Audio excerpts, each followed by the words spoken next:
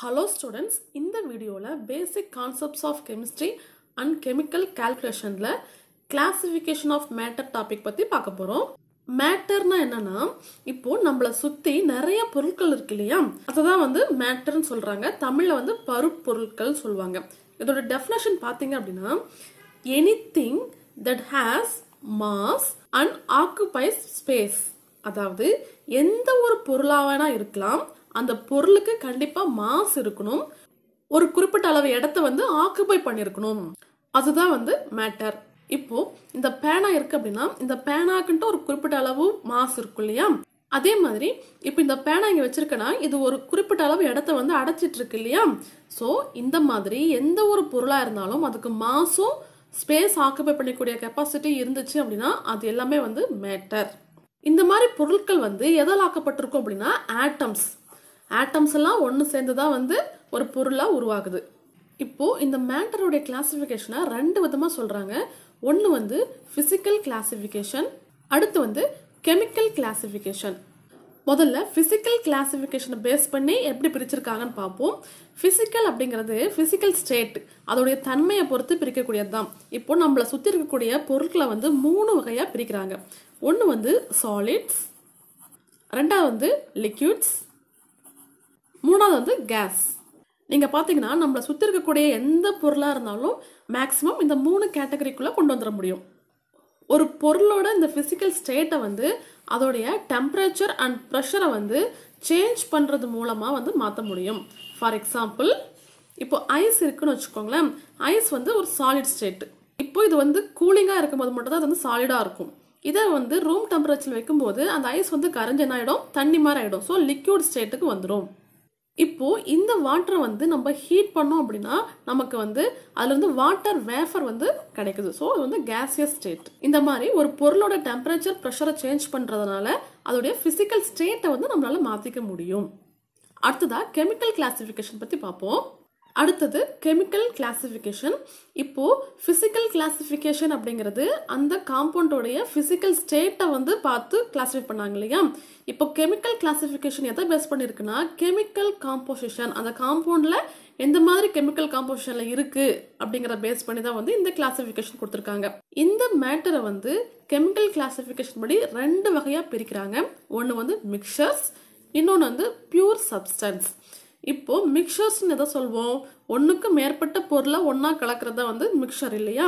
அதே மாதிரி தான் மோர் தென் ஒன் காம்போனன்ட் இருக்கும். ஆனால் இப்போ ரெண்டு இருக்குது அப்படின்னா ரெண்டுமே வந்து ரியாக்ஷன்லாம் நடக்காது. வித்தவுட் இன்ட்ராக்ஷன் அந்த ரெண்டு காம்பவுண்ட் இருக்கு நடுவில் வந்து எந்த விதமான இன்ட்ராக்ஷனும் நடக்காது. இந்த மிக்சர்ஸை வந்து மேலும் ரெண்டு வகையாக பிரிக்கிறாங்க. ஒன்று வந்து ஹோமோஜீனியஸ் மிக்சர்ஸ் ரெண்டாவது ஹெட்டிரோஜீனியஸ் மிக்சர்ஸ் ஹோமோஜீனியஸ் மிக்சர்னா என்னன்னா இப்போ மிக்சர் அப்படின்னாவே ஒன்றிற்கும் மேற்பட்ட பொருள் அதில் இருக்கணும். ஸோ இப்போ ரெண்டு பொருள் இருந்தாலும் அது பார்க்கறதுக்கு ஹோமோஜீனியஸாக இருக்கணும். ஹோமோஜீனியஸ் அப்படிங்கிறது ஒரே மாதிரி. ஃபார் எக்ஸாம்பிள் க்ரீன் டீ இருக்கு இல்லையா? இப்போ அதில் என்ன இருக்கும்? தண்ணி இருக்கும். அந்த டீ இருக்கு இல்லையா? ஸோ ரெண்டுமே வந்து மிக்ஸ் ஆகி நமக்கு தண்ணி தனியாக அந்த டீ தனியாக தெரியாது. அது எல்லாம் சேர்ந்து ஒரே மாதிரி இருக்கு இல்லையா? அதனால இது வந்து ஹோமோஜீனியஸ் மிக்சர்ஸ்னு சொல்கிறாங்க ஹெட்டிரோஜீனியஸ் மிக்சர்னா ஹெட்டிரோனா ரெண்டு. இப்போ ஒரு டம்ளரில் வந்து நீங்கள் தண்ணி எடுத்துக்கிறீங்க. அதுக்கு மேலே வந்து எண்ணெய் ஊற்றுறீங்க அப்போது ரெண்டு மிக்ஸ் ஆகுமா? மிக்ஸ் ஆகாது. தனித்தனியாக லேயர் லேயராக இருக்கும். இந்த மாதிரி மிக்சர்ஸ் வந்து ஹெட்டிரோஜீனியஸ் மிக்சர்னு சொல்லுவாங்க அடுத்ததா பியூர் சப்ஸ்டன்ஸ் என்னன்னு பார்ப்போம். இப்போ மிக்சர்ஸ் அப்படின்னா ரெண்டு பொருள் இருக்கலாம். பியூர் சப்ஸ்டன்ஸ் அப்படிங்கிறது ஒரே மாதிரி பொருள் தான் இருக்கும். அந்த ஒரே மாதிரி பொருள் வந்து ஒரே மாதிரி ஆட்டமாக இருக்கலாம். இல்லைனா வந்து ஒரே மாதிரியான மாலிகுல்ஸாக இருக்கலாம். இதை ஃபர்தராக வந்து ரெண்டு வகையாக பிரிக்கிறாங்க. ஒன்று வந்து எலமெண்ட் காம்பவுண்ட்ஸ் எலமெண்ட் அப்படிங்கிறது அதில் ஒரே மாதிரியான ஆட்டம்ஸ் மட்டும்தான் இருக்கும். Only one type of atoms இது வந்து ரெண்டு வகையாக இருக்குது ஒன்று வந்து mono atomic unit poly atomic unit element அப்படிங்கிறது ஒரு டைப் ஆஃப் ஆட்டம் தான் இருக்கணும். மோனோ அட்டாமிக் ஆட்டம்னா மோனோ அப்படின்னா ஒன்று இல்லையா?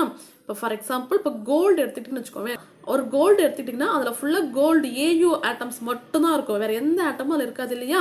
அதே மாதிரி சில்வர் எடுத்துக்கிட்டிங்கன்னா சில்வரில் சில்வர் மட்டும் தான் இருக்கும். வேறு எதுவுமே இருக்காது. காப்பர் அடுத்ததாக poly atomic unit H two அப்படிங்கிறது மாலிகுல் இல்லையா? நம்ம முதல்ல பார்த்தோம். ஆட்டமாக இருக்கலாம். இந்த மாதிரி தனித்தனி ஆட்டமாக இருக்கலாம். அப்படிலாம் இந்த மாதிரி மாலிகுல்ஸாக இருக்கலாம். O two O three phosphorus P four sulphur S eight இதெல்லாம்.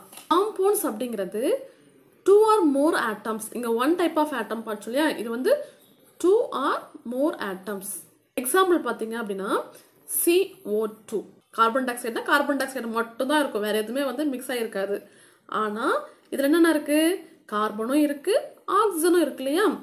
குளுக்கோஸ் எடுத்துக்கிட்டிங்கன்னா அது வந்து C six H twelve O six இதில் கார்பன் இருக்குது ஹைட்ரஜன் இருக்குது ஆக்சிஜன் இருக்குது மூணு டைப் ஆஃப் ஆட்டம்ஸும் அதில் இருக்குது hydrogen sulphide H two S ஹைட்ரஜனும் இருக்குது சல்ஃபரும் இருக்குது சோடியம் குளோரைடு NaCl இப்போ இந்த சிஎல் அப்படிங்கிறது என்னது? நம்ம சாப்பிடக்கூடிய சால்ட் இல்லையா?